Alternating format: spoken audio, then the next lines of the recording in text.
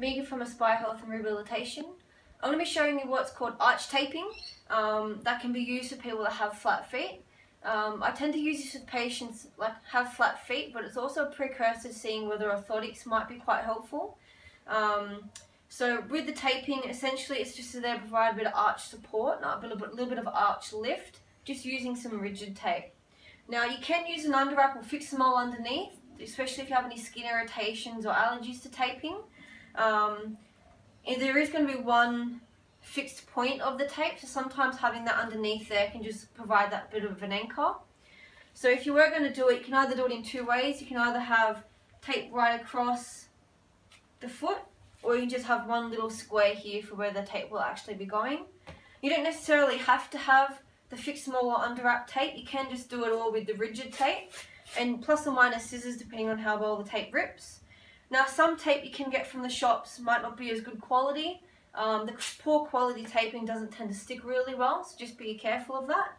So like I said, you will be starting from the inside of the arch and coming up and around the heel. So you can just apply a little bit of tape there, not, not on stretch or anything like that, and just laying it flat, just as a little bit of anchorage there.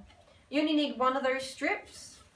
Now with the tape you can leave it on the reel, that way you know how much you will be using. You're going to be starting on the inside of the, the, the foot, okay?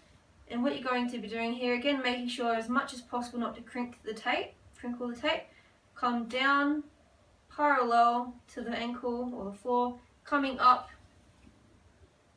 So what you're doing here is you're actually coming around and up and ending up back at the same spot, okay? And like I said, you'll be doing that twice so from here, again, starting on the inside, again, you can overlap the tape a little bit, or you can go directly over. Coming just underneath the ankle here, the medial malleoli, coming up and around and finishing at the same spot.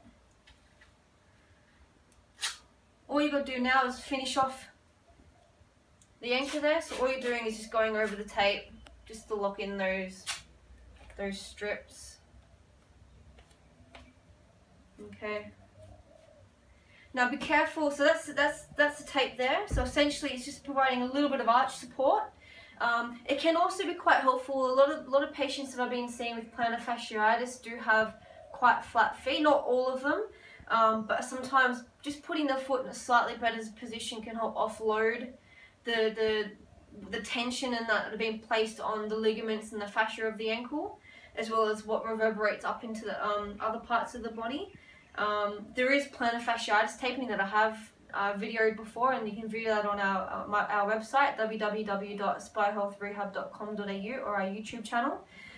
Um, but essentially this is a precursor to, to orthotics so it is not a long lasting solution.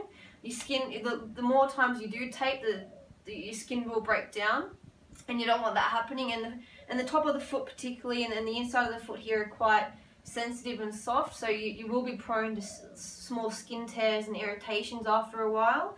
Um, and that brings me back to the point when you are removing the tape, does last for a day or two depending on what you've been using it for. Um, but you want to be careful with how you take off the tape. You, don't want to, you want to peel it off nice and slowly, you don't want to rip it because otherwise you will have some skin tearing. You can also do it, um, sometimes some people suggest doing it when you're in the shower or while the tape's wet, um, just try and peel it off that way. Okay.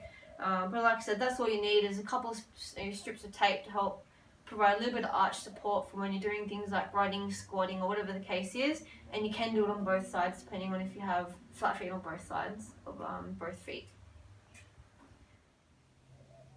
Thanks for watching. If you want any more access to uh, other videos and articles, um, check out our Aspire Health and Rehabilitation YouTube page. Uh, we also have a website, www.aspirehealthrehab.com.au and you can also give us a like on Facebook and Instagram.